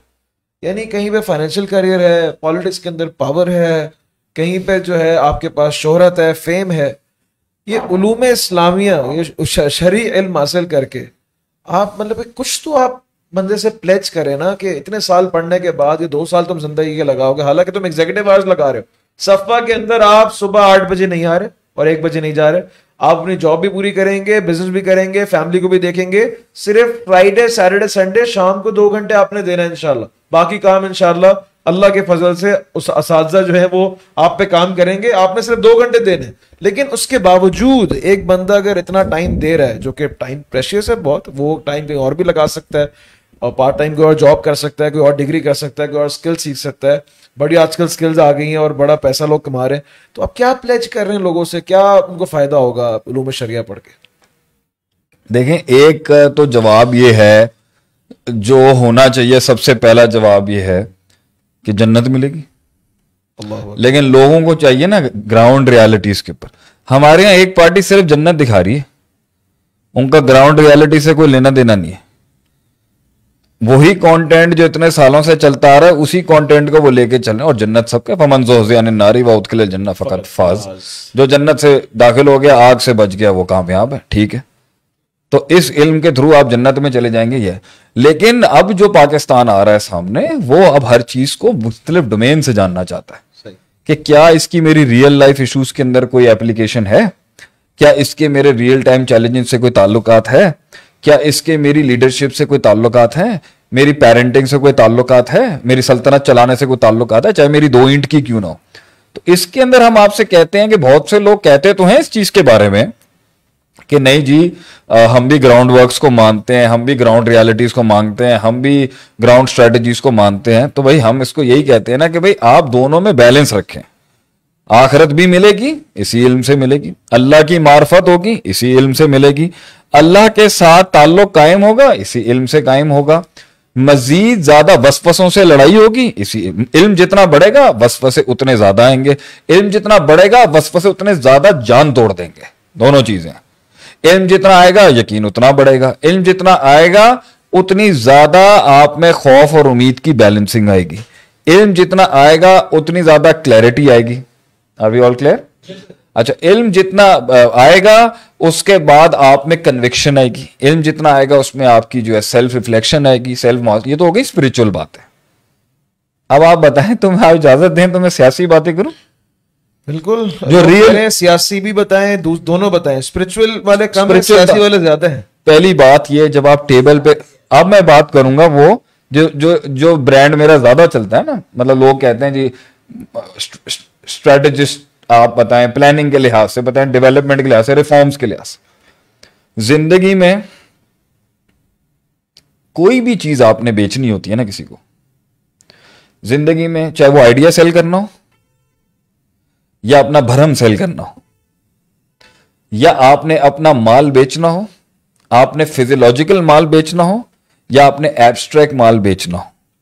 आपने ज़िंदगी के अंदर कोई भी चीज़ सेल करनी होती है ना तो अगले को सेल करने के लिए टेबल पर, चाहे पावर सेल करनी है, टैका सेल करना है, धमकी लगानी है किसी को, समझाना है किसी को, बिठाना है किसी को, मिलाना है किसी को, या चढ़ाना है किसी को, ये सारे काम करने के लिए ना, पूरी पर्सनैलिटी सेल हो रही होती है। सही। उसमें आपका पूरा मफहूम आपका पूरा एक्सपीरियंस आपका सारा मुशाहिदा everything is on the table in front of masses and the person तो पहली बात यह है शेख आतिफ की तरक्की और कबूलियत का सबसे बड़ा राज ये था कि जो बातें मैं नॉर्मली अपनी मोटिवेशन में लोगों के लिए करता भी था उसमें तड़का ही कुरान हदीस की वजह से लगा। क्योंकि एक तो कंटेंट यहाँ से आया फॉर एग्ज़ाम्पल हमने जब लास्ट टाइम बात की कि भाई रिक्रूटमेंट अगर किसी ने करनी किसी को मुलाजमत पे रखना मैं बैठा हुआ एक जगह के ऊपर, बहुत बड़ा आदमी बैठा हुआ वहाँ पर, और ब्रिटिश पेट्रोलियम कंपनी कितनी बड़ी कॉर्पोरेट कंपनी उसका एक बहुत बड़ा आदमी था तो मैंने उनको बोला, सर, मैं अगर रिटेन रिक्रूटमेंट के ऊपर अगर कोई इस्लाम का कुरान हदीस से कुछ पेश करूँ तो आप क्या कहेंगे? तो आगे वहाँ बहस छिड़ गई कि जी गोरे ने ऐसा कौन सा काम किया जो आप लोग लेके आ जाएँगे? कौन सा ऐसा काम छोड़ा है जो आप लेके आ जाएँगे? बॉस्टन से डेढ़ सौ पीएचडी आ जाती हैं, आपके पूरे मुल्क में इतनी नहीं होंगी। मैंने कहा, सर, ठीक है, ना भी हो आप कम से कम वाइल्ड कार्ड पे इस रेस के अंदर इंटेलेक्चुअल डिस्कोर्स में तो हमें शामिल कर लें। तामीर ना भी हुई तो क्या हुआ? चले इंटेलेक्चुअल आर्ग्यूमेंट ही मुसलमानों के लिए जीत ले आदमी। वो बहरहाल बहस चलती रही चलती रही चलती रही, बहरहाल वो मानस पे ठीक है, आप बताएँ आपके पास क्या है? मैंने कहा अगर मैं बताऊँगा तो ऐसे अगर दे दूँगा तो फ़ायदे नहीं है कुछ उसके पर्क्स इंसेंटिव्स भी तो देना बताने बहरहाल वो बहुत हुआ आगे कितने मौके मुझे उससे मिले नहीं मिले। टेबल के ऊपर एक ब्रिटिश पेट्रोलियम कंपनी की कॉर्पोरेट का बड़ा आदमी बैठा हो दूसरी जगह पाकिस्तान का एक नामवर इंडस्ट्रियलिस्ट बैठा हो वहाँ पर मैंने आयत कोट की। इन्ना खैर मिनश शैतान इन्ना खैर मनिस्ता इस्ताजरता अल कबीउल अमीन। याकूब अलैहिस्सलाम की बेटी शुएब अलैहिस्सलाम की बेटी ने मूसा अलैहिस्सलाम को जब उजरत पे रखने की बात की और सर्विस इंडस्ट्री की इंट्रोडक्शन वहीं से हो रही है तो उन्होंने कहा कि उजरत पे और सर्विस पे सबसे अच्छा उस शख्स को रखा जा सकता है जिसमें अलकुआ वल अमान। वल अमान। अब इसकी अलकुआ और ईमाना के चार पैराडॉक्सेस निकल सकते हैं, हम उसमें नहीं जाएँगे। कुवत कितनी होनी चाहिए फ़िज़िकल कितनी होनी चाहिए स्पिरिचुअल कितनी होनी चाहिए, अमानत और ऑनेस्टी कितनी होनी चाहिए।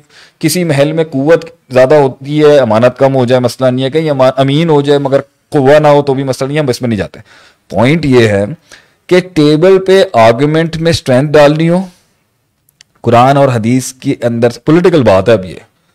कुरान और हदीस से जो बात आएगी ना वो बहुत स्ट्रेंथन होती है। अब कुरान की वो आयत भी है ना अक़वम।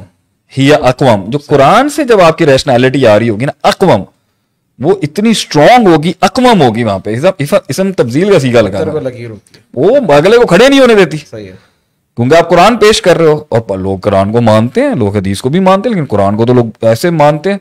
तो पॉइंट ये आर्ग्यूमेंट जीतना हो हालाँकि हम ये नहीं कहते, जिसने इल्म सीखा उलमा को गिराने के लिए, जिदाल करने के लिए आर्ग्यूमेंटेशन जीतने के लिए तो उसका इल्म फसाद का ही है। पॉइंट ये है, बात सियासी है। If you want to be unique in the market तो ये गोरों का मंजन, ये वेस्टर्न मंजन तो सब बेच रहे हैं। Let's bring our unique selling point a blend of an Arabic sharia Islamic sharia तो ब्लेंड फ्रॉम द आपने साइकोलॉजी पे बात करनी, आप लाएँगे दुनिया में आपको बड़े मिल जाएँगे। हम इबन कईम रहमल को लेके आते हैं, इमाम इबन तैमिया रहमल को लेके आते हैं। आप इमाम गजाली को भी खोल लें। दीज द जाइंट्स अब उसके अंदर जब वो बात का तड़का हमारे एंड से आता है तो एक रिवायत भी दिखती है कंजर्वेटिज्म भी दिखता है ट्रेडिशनलिज्म भी दिखता है और मॉडर्निज्म भी दिखता है। तो ब्लेंड जो है एंड के अंदर सबसे क्लास की मार्केट ना कंजर्वेटिव्स बनेंगे, ना लिबरल्स बनेंगे। ये ब्लेंड बन जाएगा, क्योंकि it's a blend of both the traditional both the traditions तो अगर आपने यूनिक हमारे प्रोडक्ट की यूनिकनेस कैसे क्रिएट हुई?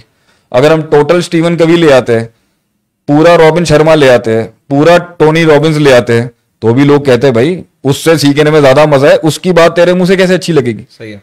और अगर हम टोटल यहाँ से अपने वाले ले आते हैं तो क्योंकि वो बात नहीं है तो लोग चाहते हैं कि नहीं भाई वेस्टर्न मंजन भी होना चाहिए? लेकिन जब हम अपना कॉन्सेप्ट लाते हैं और उसके ऊपर पैकेजिंग थोड़ी सी उनकी भी हो जाती है मगर शाहिद के अंदर उनकी दलील हो मगर असल हमारी दलील हो तो लोग मूव्ड होते हैं कि भाई इनके पास है।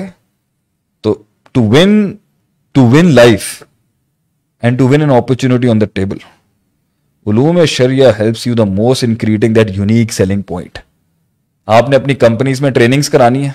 बिल्कुल। बाहर के लोगों की तो किताबें मतलब सेवन हैबिट्स वगैरह तो सब हम देते हैं ना नबी से सल्लम की ज़िंदगी से। Seven habits from professor twenty habits from profit जो अभी तक मेरी डिस्कवरी है। किताब भी मैंने अपनी तकरीबन आप शायद मेरी किताब में आप शायद नहीं करते इस पर आप भी कौन को जवाब दें जरा।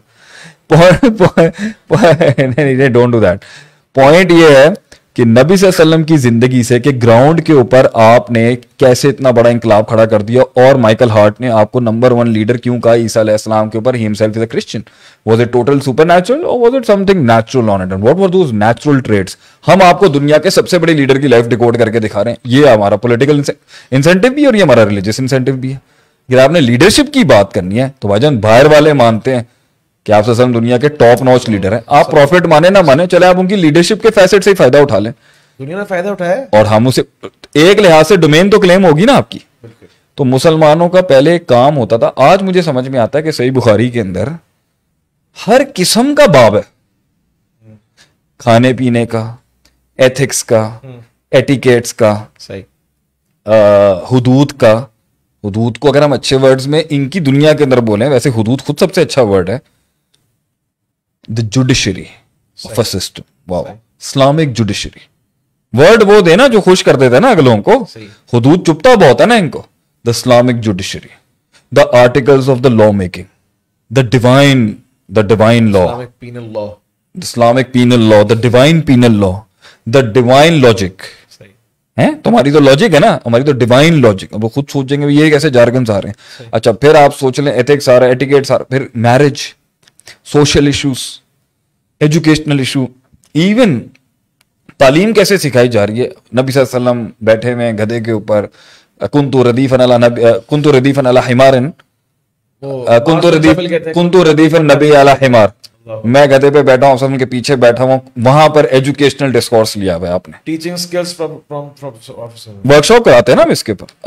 की सारी आ रही हैं। मैं बताते चलूँ जिनका भी ये सवाल है जिन लोगों का भी ये सवाल है कि सफ़ा हमें जो है हमारे करियर्स हमारी लाइफ के अंदर किस तरह हेल्प आउट करेगा प्रैक्टिकली ये कोई इस्तेमाल भी होगा या ऐसी बस टाइम्स आया और एक डिग्री का एक पर्चा है? ये तो आपको पहले सेमेस्टर के बाद ही पता चलेगा। जिसको जवाब समझ आ गया, उसको जवाब समझ आ गया, नहीं आया तो उसको मैं जवाब बता दूँ कि पहला सेमेस्टर अगर कर लें तो अगले तीन सेमेस्टर की ड्राइव खुद ही आ जाएगी, इंशाल्लाह, मैं वेबिनार ही नहीं करूँगा। ये सारे वेबिनार्स होते हैं सिर्फ़ फ़र्स्ट सेमेस्टर वालों के लिए। बाकी तो वो कहते हैं उसामा कब शुरू हो रहा है सेमेस्टर? कब शुरू हो रहा है? लेकिन इनशाला प्रैक्टिकली अगर आप बात करें जो शेख साहब ने सियासी जवाब के नाम से उसको जो है एक बिल्कुल उसकी कवरिंग की है उसको जो है वो कोडिंग की है वो सियासी जवाब वो पॉलिटिकल जवाब आपका पॉलिटिक्स सियासत वाला नहीं है बल्कि वो ये है कि वो आपको एप्लीकेशन के लिहाज से दुनिया के अंदर जन्नत तो आपको इनशाला मिलेगी मिलेगी क्योंकि आप नबियों के वारिस बनने जाएँगे इनशाला इन नमलमा वरफतुलम्बिया कि आपको अल्लाह ताला का डर, खशियत, इबादत में लज्जत, वो सारा एक दूसरा पर्सपेक्टिव है, वो तो आपको इनशाला नसीब ही नसीब होगा, इल्म वाले को अल्लाह ताला वो देता ही है।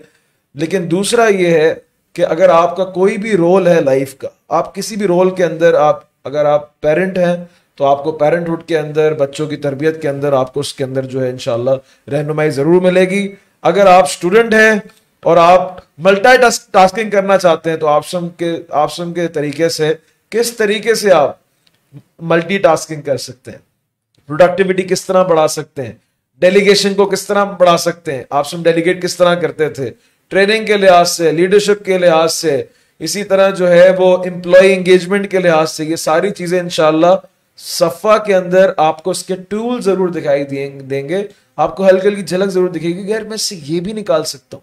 असल में इतने डाइवर्स बैकग्राउंड से लोग हमारे पास जो है वो सफ़ा पढ़ने के लिए आते हैं कि हर कोई अपने अपने नसीब का जो है ना वो ला तनसा नसीब का मिनत दुनिया हाँ। कि अपना जो है दुनिया में नसीब है तुम्हारा जो हिस्सा है वो मत भूल जाना तो हम यही बोलते हैं कि जब क्लास के अंदर बैठो तो ला तनसा नसीब का मिनत दुनिया शेख बात कर रहे हैं तो अपने अपने जो है वो हीरे अगर जवाहरात आपको नज़र आ रहे हैं अपनी अपनी फ़ील्ड के इकट्ठे करते चले जाएँ आप डॉक्टर हैं आपको आपकी फ़ील्ड के अंदर ज़रूर मिलेगा कुछ ना हाँ, कुछ। ज़रूर कुरान हदीस देगा आपको वो उसूल देगा वो बेसिस देगा वो फाउंडेशन देगा जिससे आपकी प्रोडक्टिविटी आपकी आ, आपका आपका जितना भी विजनरी जो आपका काम है जो आपके लाइफ से ताल्लुक रखता है जिसको आप ज़्यादा परसेंटेज देते हैं अपनी लाइफ का अपनी ज़िंदगी का उसमें इंशाल्लाह एक कोर्स ज़रूर हेल्प करेगा। लेकिन बातें तो आप सुनते ही हैं। असल आप इसको तभी इसकी महराज तक पहुँच सकते हैं अगर आप जो है वो इसके अंदर आएँगे। नहीं फिर इसमें my second take on this is भाई इख्तलाफ है। सही। बात करते हैं ना घबराना किस बात? इख्तलाफ है मसलक हैं फिरके हैं हैवी स्कूल ऑफ़ थॉट्स का डिफरेंस है। पॉइंट यहाँ पर और एक कौम क्या कह रही है? इख्तलाफ को छोड़ के यूनिफिकेशन हम बना लेते हैं किसी और बेसिस हम्म। तो कोई ह्यूमैनिटी की बेसिस पे इकट्ठा होना चाह रहा है कोई ह्यूमन राइट्स के ऊपर इकट्ठा होना चाह रहा है कोई हुब रसूल पे इकट्ठा होना चाह रहा है कोई खत्म नबूत पे इकट्ठा होना चाह रहा है। Fine these are different avenues for the Muslim people to get unified in on one perspective इस कोर्स के थ्रू कम से कम कम से कम हम इनको करीब आने का एक मौका तो दे सकते हैं। ठीक है। हम डिफरेंस पढ़ाने की तमीज तो सिखा सकते हैं। सही। डिफरेंस स्टडी करने की तमीज तो सिखा सकते हैं। क्या बड़े बड़े उलमा और इमामों का आपस के अंदर जो डिफरेंस ऑफ़ ओपिनियन है वो इसलिए बनाया गया था कि हम लड़ना शुरू कर दें आपस में। जब उन्होंने आपस में लड़ाई नहीं की इतने डिफरेंस और आज भी हमने देखे कितने कितने बड़े उलमा है। They have such strong differences with each other but देख मैंने आपसे कहा ना इंटेलेक्ट मुतासिब कैसे हो सकता है?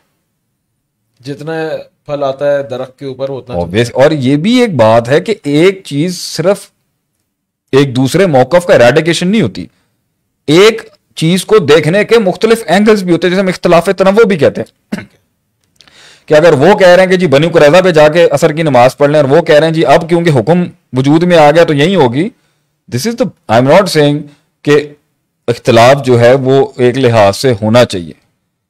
क्योंकि लाजदालूना मुख्तलिफिन रहमा रबी इख्तलाफ अच्छा नहीं पसंद किया गया बल्कि अल्लाह ने कहा उस पर रहम है जो इख्तलाफ नहीं करे। मगर एक चीज़ को देखने का जो डिफरेंट डिस्कोर्स है या फैसेट है, ये चीज़ हुसन पैदा करती है मफहूम में और इंटेलेक्ट दूसरी बात ये है, आपको एक लेवल पर सिलेक्ट करने में सॉल्व करने में, समझने में मसलक फिरकों में भी क्लैरिटी मिलेगी। जब आप एक प्रॉपर बेस लेके चल रहे होते हैं, आप में घबराहट नहीं होगी। आप पढ़ सकते हैं अगले को। डर क्या है? अभी तो अगर आप किसी के पास जाएँगे आज और ऑब्वियसली आज और ऐसा नहीं हम ये कब कह रहे हैं कि हर जगह ऐसे नहीं होंगे जो कह रहे होंगे भाई हम ठीक है बाकी सब गलत। This is this is everywhere और हमारे यहाँ तो क्लास भी है सर्टेनिटी से आगे बंदा रिजेक्ट करता है। ये जी अगला है ही गलत इसको जन्नत के दरवाजे पे खड़ा नहीं चले देखें इस तरह तो जो भी होगा लेकिन पॉइंट ये है जो सबकी जो सबकी खूबसूरती है उसे भी पढ़ना चाहिए। और जो सबके अंदर इख्तलाफ का तनवु है उसको भी देखने की एक तमीज होनी चाहिए। और जो वाकई बदसूरतियाँ भी रही पास्ट के अंदर जिसके तहत ये कल्ट बन चुके हैं इतना लेवल का तफरका खड़ा हुआ हुआ है कि आप पॉइंट यहाँ पर यह है हमने ये हम ये भी नहीं कह रहे कि मीठा मीठा पढ़ाएँगे हम सिर्फ़। उसमें सख्त बात भी होगी उसके अंदर वो बातें होंगी जो खतरनाक हैं जो मुश्किल। लेकिन उसको हैंडल अगर हम कामयाब हो गए संभालने में सही। तो ये समझ जाएँगे ना आगे बात कैसे देनी है। तो कहते हैं सख्त से सख्त बात करने का भी तरीका होता है। इख्तलाफ कहाँ नहीं होता? मैंने इकोनॉमिक्स पढ़ी उसके अंदर किनीजियन मॉनिटर्स का इख्तलाफ था। हाँ। मैंने और उलूम पढ़े उसके अंदर अकाउंट्स के अंदर स्टैंडर्ड्स का इख्तलाफ था। एक कंपनी आए दूसरे स्टैंडर्ड्स को फॉलो कर रही है अकाउंटिंग के अंदर दूसरी ही कंपनी दूसरों को फॉलो कर रही है। इख्तलाफ कहाँ नहीं है? मैट्रिक सिस्टम एक अलग चीज़ फॉलो नहीं आपके यहाँ आपके यहाँ एक एक फ़िक्र है डिग्री की कोई औकात ही नहीं है। उठा के फेंक दो। हाँ। पूरे मुल्क में एक ये धड़ा बना और ताबीर फिर आ जाएगा ना शेख। मैं वो फिर लाऊं। एक पार्टी है वो कहती है भाई डिग्री कोई चीज़ ही नहीं है। दुनिया के बड़े बड़े लोगों के पास थी नहीं तो जो कामयाबी का राज है वो सिर्फ़ ये उठो और चढ़ जाओ और निकल जाओ। अच्छा एक पार्टी है वो इबारत को इतना स्ट्रेंथन करने में लगी है वो कह रही डिग्री सिर्फ़ और सिर्फ़ इबारत को हल करने का नाम है। इबारत की तहसीन का नाम है इबारत की तजमील का नाम है इबारत की तकमील का नाम है। जो फ्रिजोलॉजी है वो इतनी क्लास की होनी चाहिए अंदर चाहे उसमें वज़न हो तजर्बा ना हो मुताला होना हो उसके अंदर तामीर होना हो हो कंस्ट्रक्टिव आर्ग्यूमेंट हो ना हो उसने आगे जाके मुकाबले किए हो ना हो उसने जंगे लड़ी हो ना बस इबारत बड़ी खूबसूरत है। इफरात तफरीत। बिल्कुल। Is only strengthening uh, the linguistic part of of the knowledge and the other is only talking about the practical part of the knowledge. हालाँकि its language practicality deliverance and the entire package तो मेरी नज़र के अंदर भाई आपको कहीं ना कहीं से तो स्टार्ट लेना है। और कहीं ना कहीं से बुरा स्टार्ट भी लेना पड़ता है, अच्छे स्टार्ट के लिए। There are so many bad endings good endings that had a bad beginnings तो इवन कोई नेगेटिव कॉन्टेशन हमारे बारे में भी दे रहा होगा, भाई इनसे बात ना करें, इनसे पढ़े नहीं, ये फलान है, ये डिमकान है, ये अपनी तरफ़ से कोई लेके आ गए हैं, ये वो, ये एमिगो नहीं है, ये आलिम भी नहीं है। ये हर जगह है। ये मार्केट का नैरेटिव हर चीज़ के बारे में रहा है। तो हम उनको भी कहते हैं, उन भाइयों को भी कैश करने के लिए, उनको भी अपनी तरफ़ लाने के लिए कि, भाई some bad beginnings have a good ending even that has to be an incentive for you to start with us. बिन-निहाया आल इबरा तो बेनिहाया अ, कि कितनी ही इमाम ने तैमिया रहमतुल्लाह का कॉल है शायद मेरे ख्याल से इट्स ऑलवेज अबाउट इन्नमल अमालु बिल खवातीम और व्हाट यू एंड ऑन तो फ्लेवर को चखना तो सर्टेनिटी के बाद भी है सर्टेनिटी से पहले भी है। सर्टेनिटी से पहले फ्लेवर को गलत फ्लेवर चख लिया तो बहुत मसला हो जाएगा। तासुब क्रिएट कर देगा ना वो। हाँ तो इसमें एक रिस्क हो सकता है कि भाई हो सकता है आप भी एक हिडन एजेंडा के थ्रू यहाँ पे लोगों को घेर के अपना कर रहे हैं। बड़ा हिडन एजेंडा तो पॉइंट यहाँ पर ये उसके लिए आप आपका चाहिए जो लोग आप स्टूडेंट रिव्यूज़ जो हैं। बिल्कुल स्टूडेंट रिव्यूज़ हमारे पास जो है जो लोग सफ़ा के अंदर अभी मेरे ख्याल से मैं just want to ask all the students that I studied from the entire core आप लोग अपने रिव्यूज़ दें लोगों को भैया कि क्या हम कोई स्पेसिफिकली कोई चीज़ फैला रहे हैं या हम वाकई ही उस इंटेलेक्चुअल डेप्थ में लेके जाना चाहते हैं जहाँ पे इलाहाद से मुकाबला चल रहा है, जहाँ पे कुफर शिरक की डेफिनेशन के अंदर कंफ्यूजन हो रही हैं, जहाँ पर फिका क्या होती है, जहाँ पे इंडेक्ट जुरिस्प्रूडेंस क्या होती है, क्या इस्लाम सिर्फ़ चार पाँच चीज़ों का ही नाम था? Please give your reviews to the people के हाउ वी हैव परफॉर्म्ड अल्हम्दुलिल्लाह जी, हमारे पिछले सेमेस्टर के अंदर भी तकरीबन 500 से ऊपर स्टूडेंट्स जो हैं वो रहे हैं, जो कि एनरोल्ड थे और उनमें से जितने भी लोग यहाँ पे नीचे मौजूद हैं कमेंट्स के अंदर और उससे पिछले बैचेस के अंदर, वो अपने रिव्यूज़ दे सकते हैं पेज के ऊपर भी कमेंट्स के ऊपर भी कि उनको किसी लिहाज से मसल की लिहाज से, किसी तासुब के लिहाज से, अगर किसी भी उस्ताद ने उनके ऊपर कोई जबर किया हो आइडियोलॉजिकली कि आप यही मौकफ अपनाएँगे तो आप ठीक है, वरना आप गलत हैं। बल्कि अक्सर लोग ये सवाल पूछते हैं कि आप लोग कौन सी फिका जो है पढ़ाएँगे, आप कौन से मसलक से ताल्लुक रखते हैं? तो हमारा, मैं फिर से यहाँ पे बताते चलूँ कि हमारा जो मनहज है, जो मेथडोलॉजी है टीचिंग के अंदर, खास तौर पे फिका के अंदर वो कंपेरेटिव फिक है। हम उसके अंदर हम एक मसले के अंदर अगर चार इमामों के कॉल मौजूद हैं चारों के चारों इमामों के अकवाल जो है क्लास में मेंशन किए जाएँगे विद देयर दलाइल बहरहाल मैं इस पर एक और भी कमेंट हाँ। कर दूँ। Even in the Deobandi school and even in the Barelvi school फिका के अंदर वहाँ पर भी सारे मजाहब पढ़ाए जाते हैं। बिल्कुल। एंड में कहानी तरजीह की होती है। तरजीह तरजीह एक अलग चीज़ लेकिन लेकिन ये impose कह वो वो एक और बात है लेकिन मैं उनके हवाले से भी एक अच्छी बात करूँगा यहाँ पर। बिल्कुल। वो भी अपनी किताबें जब पढ़ाते हैं तो उसके अंदर मुख्तलिफ़ उनकी भी किताबों के अंदर मुख्तलिफ़ फिक के इशूज होते हैं हिसाब किताब लेकिन वो एक तरजीहात के लिहाज से है कि एक स्कूल कहता है कि जी हमारे स्कूल के मुताबिक ये तरजीह जो है वो सबसे आला है ऊला है और अफजल है। बाकी कंपेरेटिव वहाँ भी की जाती होगी। और अगर किसी जगह पे तासुब है असबियत है ठीक है ये चीज़ें हमेशा से रही हैं ये हर जगह रही हैं लेकिन से दीन से लगता है नफ्सियात से ज़्यादा लगता है। वो एक और बात है दलील कभी भी मुतासिब नहीं होती नफसियात मुतासिब होती पॉइंट ये है क्या हमें उन बड़े लोगों ने जिन्होंने इतने बड़े बड़े काम किए हैं, हम उनके पैरों की खाक नहीं है, क्या हमें उनकी सोचने के तरीके को आजकल की यूथ में और नई नस्ल में नहीं डालना चाहिए? आपने इमाम शाफी और इमाम अबू हनीफा रहमल का आपने उनका आपस का इख्तलाफ पढ़ाना है या आपने उनके उस माइंडसेट को पढ़ाना है कि वो किस तरह एक कॉन्सिक्वेंट पे रीच करते थे? तो अगर कौम के अंदर उनकी इज़्ज़त और रिस्पेक्ट इस परस्पेक्टिव से बढ़ जाए कि इमाम मालिक का कद कितना है, इमाम उजाई का कद कितना है, इमाम शातबी रहमल का असूल के अंदर कितना कद है, या इमाम ने कहीं अपने तैमिया का जो है रहमल उनका कद कितना है तो वो असल मकसद है इनको अपने बड़ों की तरह सोचने का शूर डालना कि वो किसी भी कोर रॉ चीज़ से कैसे एक्सट्रैक्ट करेंगे चीज़ों को। एंड दैट्स द प्रोसेस जो हमारे लिए मुश्किल है, क्योंकि वेस्टर्न उलूम आजकल की असरी उलूम यूनिवर्सिटी उलूम जिसके अंदर छप्पन सब्जेक्ट्स आपके बैचलर्स में छप्पन सब्जेक्ट्स होंगे मेरे ख्याल से। अड़तालीस कोर्सेज अड़तालीस कोर्सेज में से एक इस्लाम का होगा। जी ऐसे ही। सैंतालीस कोर्सेज आपके सारे बाहर के हैं। Introduction to business finance organisational behaviour college algebra calculate सब मेथड्स हैं।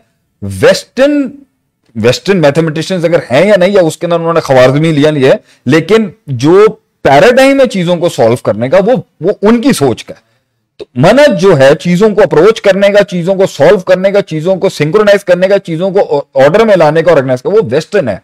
तो छियालीस फोर्टी सेवन उलूम आप पढ़ रहे हैं, उसके एक दीनियात आ जाती है बेचारी वहाँ पर। वो भी टूटी फूटी और जो पढ़ाने वाला भी होगा, पता नहीं I don't know how equipped they might be very well वो कैसे वो बेस क्रिएट होगी इस लिहाज से?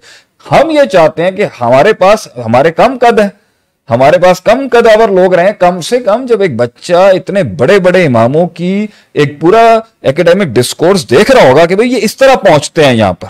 ये इस तरह, जैसे फॉर एग्ज़ाम्पल एक छोटी सी बात है। एलामुल मौकेन is such a wonderful book on उसूल बाय इमाम इब्न कय्यम रहमहुल्लाह।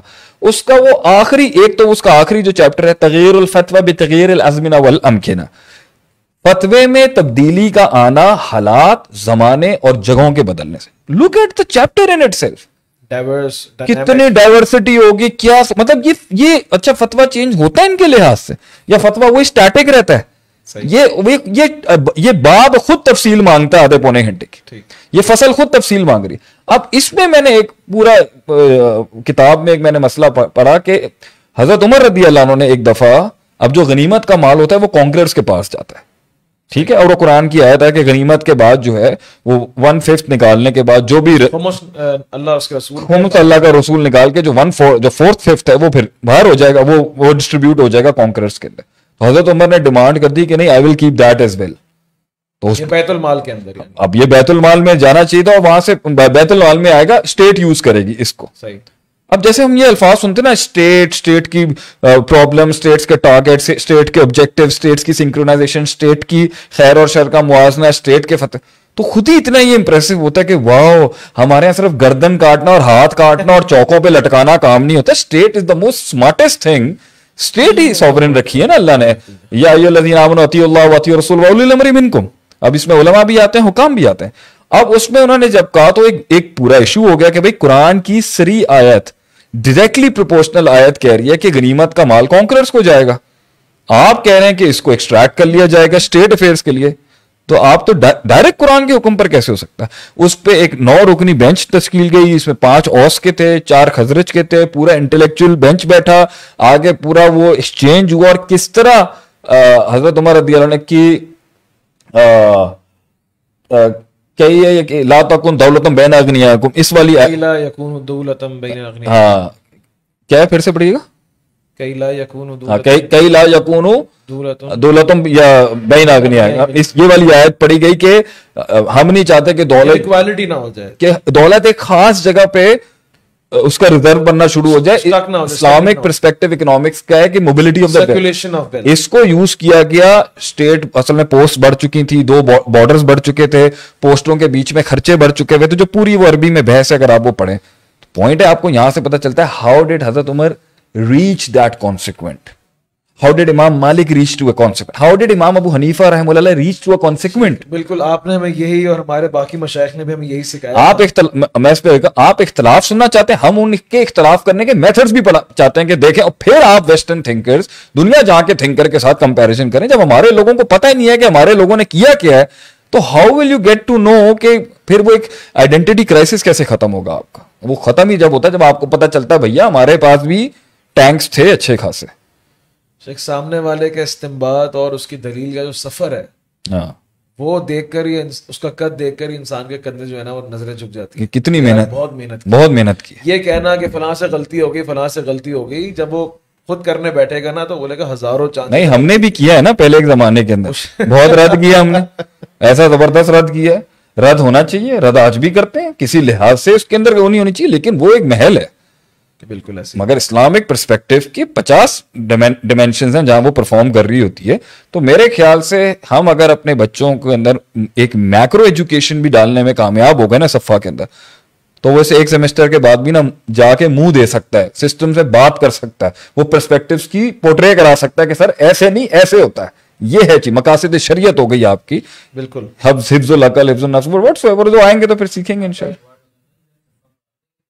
हाँ दिमाग की कुंडियाँ खुलनी चाहिए। सफ़ा open you the keys to the higher perspectives Sheikh मेरे हिसाब से टाइम हो गया मेरे ख्याल टाइम तो काफ़ी हो गया है लेकिन जो है इनशाला मैं यहाँ पर यहाँ पे लोगों के जो सवालात हैं वो मैं फिर से फिर से बोल दूँ आप लोग सबके सवालात जो हैं वो नोट किए जा रहे हैं।